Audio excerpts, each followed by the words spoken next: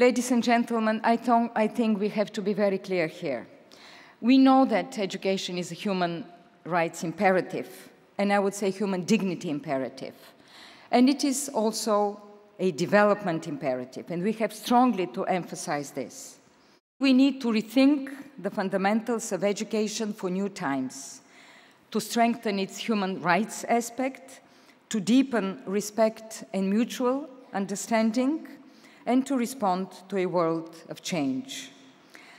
Education policies is the ultimate long-term policies. We strongly believe in that. And we need to be visionary. Of course, we do not start from scratch. And I believe we can build on these two landmark UNESCO reports. The first, Learning to Be, the so-called Faure report, was published in 1972 and introduced the ideas of lifelong education and of learning societies. It was the first time ever these concepts, these notions, were introduced in the educational debate. The second, the Delors report, Learning the Treasures Within, which was published in 1996, proposed a holistic, integrated vision of education based on the four pillars, learning to be, learning to know, learning to do, and learning to live together. All of this remains valid. But, ladies and gentlemen, the context has changed, I would say, dramatically. The world is changing, and education must change too. Since the year 2000, many countries have made strong progress in expanding opportunities for formal basic education. But we all know, and you know it quite well, being educators yourself, this is not enough today in the 21st century. We must examine the quality of education, its relevance, and its equity. We must grasp its ability to unlock the innovation all societies need. This is why inclusive, holistic, and flexible education and lifelong learning is so important. Facing such a change, unpredictable, precarious change, we have to go back to the basics. That is learning. Therefore, the Delors report and Faure report was so visionary at a time when people didn't, what I mentioned, the changes happened only in the past 20, 15 years. Before that, it was not like that. And, but education is still there. So I think this is important. In my own system, we started our reform 1999. And in the first three years, all the reports start with one sentence. Society has changed. Society has changed. And that is fundamental. Values, principles remain fundamental. Values of social justice, even within those four pillars, values of human rights, values of solidarity, so that even the four pillars themselves, you need to interpret them within values of non-sexism, where on an ongoing basis you have to confront patriarchy, so that you don't, at the end of the day, keep on saying you have to protect the girl child. So even in your planning, in your visioning, you have to make sure that you embed these values and principles even in the implementation of those uh, uh, four pillars. So they still remain relevant. They have to be interpreted with what the gaps are, what the challenges are on an ongoing basis. Mutual understanding. They're at the heart of what we do at the Institute and the Fulbright program globally. But that's the way you operationalize what Professor Moran was talking about two days ago. That's the way you teach people to learn to live together. Our problem is it's not yet an explicit part of education, yet it's the most important contribution education could make at every level because educated people plan and make war. Angie, I think you've probably got something very useful to contribute to this because obviously in the post-apartheid era, this is something that you've, you've really had to broach head on, this issue of living together. Well, what can you tell us about that? How are you dealing with that in the classroom? You can only educate the nation with the nation and therefore mobilizing the nation itself to this common vision of this world that you want to live in. So it's really mobilizing society broader than the school itself to ensure that you can bring up your kids as a nation towards this vision of the world that you all want, to, you're aspiring for? Learning to apply the knowledge, learning to do, has been really the basic uh, progress in education and the concern of education. In the last 20 years, I would say, uh, we, we feel that we have failed in many aspects, and, and we're speaking of soft knowledge. And we don't know really how to deal with them. We, we have not built a sufficient experience in order to implement our desire for people to, to be better and also to live together better, the other two uh, pillars. So I think we're a little bit walking with our eyes uh, shielded without seeing very well our path. And so I see a, an experimental endeavor in this area. And so to your question, how should we train teachers? I don't have a clear-cut answer. But I think we have to train teachers properly, and we have to have concern for these other dimensions of, of teaching and learning, especially. Education is lifelong, and that lifelong means before schooling and after schooling. It's life-wide, which is beyond schools. And you think of uh, for uh, our graduates, they don't only work as uh, economic means, not only as human resources. They have to have family uh, life, they have to have political life, they have to have religious life, cultural life. But you think of the society now, social unrest is everywhere. War potentials are mounting.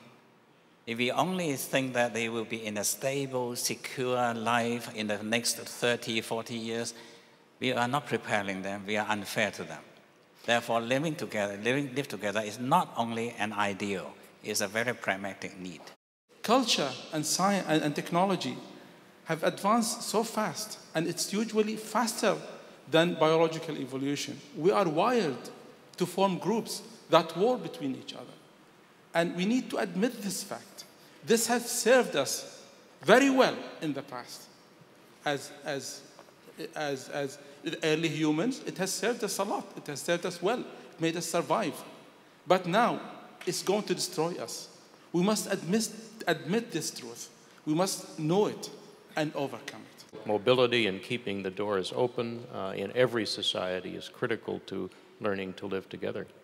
From the discussion here, I come up with three dimensions which may be added on or included in the four pillars. One is uh, learning to serve. Learning to live together may not mean learning to serve. And serving, uh, service learning is so widespread now. The second is from what uh, Francisco says, learning to live with nature, with the, na- with the nature. And the third one, perhaps, is less touched upon and happens after the Delors report, is learning to create. That means to innovate, to think outside the box, to be critical, to be entrepreneurial, and that perhaps uh, uh, has to be added into, uh, included into the pillars.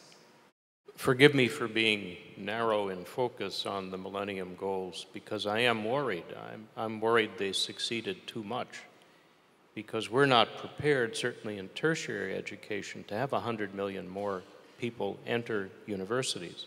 Maybe we can build the buildings, uh, maybe we can have online materials, but it takes 20 years to build a faculty member, sometimes longer, and we don't have enough faculty members for the demand that's going to be out there. So any new set of Millennium Development Goals really ought to address secondary education and also tertiary education, lest we have 100 million people that have no seats, no place to go, no further education to which they can aspire. I, I think that would be a terrible disappointment for the next generation. Teachers are very central. It means also as we push for those millennium development goals, we need to prepare for them. And I think the lessons also of developed countries will inform us so that as we push beyond the basic education, what it will take to maintain the quality that we all aspire for without compromising the quality when we move for full access.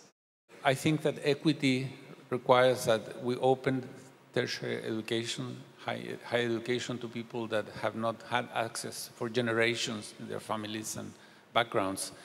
so if we are going to train them up to the level of secondary education, they ought to have access to tertiary education as well.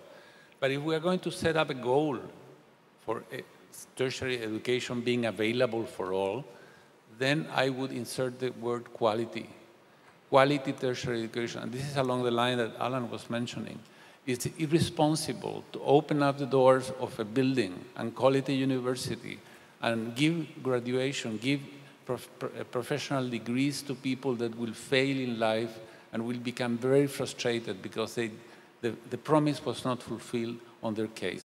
What is the dream of uh, putting learning into the center stage of education is when our students are more autonomous, active learners. And that is the test of the real uh, learning society. I, I'm afraid in that aspect, the learning science, the research on learning, combining neuroscience, psychology, pedagogy, and so on and so forth, IT, is not so much known to the education society, uh, education community, less known to the policymakers. And that has to be, to, be uh, to provide us the evidence for moving towards a real learning society. There are many, many success stories. Mm -hmm. Many, many systems are already moving forward. Many, many educators, policymakers have some bits and pieces, sometimes even larger than bits and pieces, which are moving forward. I think UNESCO and other organizations have the responsibility to collect these to show people that there is a way forward. Today, we see we're more focusing on learning, and the learning is a center of the education. But we still have to say education because education is responsibility of the society, of the government to provide to their citizens. But learning is the nature of education. UNESCO and UNICEF, we jointly promote, we should say, provide equitable, quality education and the lifelong learning for all. So, for this, with different countries, different conditions, we should have a minimum standard for everybody, but also based on different countries' condition, they can have a different higher level standard. The last point I want to make, the debate on post-2015, this is only talking about the next 15 years. This is not enough. We have to contribute to the global debate on what exactly education for. So now we're talking about a new paradigm, a new thinking, new way of doing, and out of our own box. The debate today actually already started, initiated this kind of a global debate.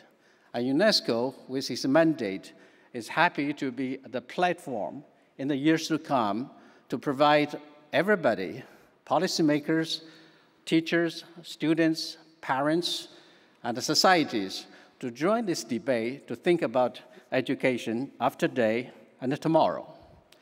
Let's go for it. Thank you.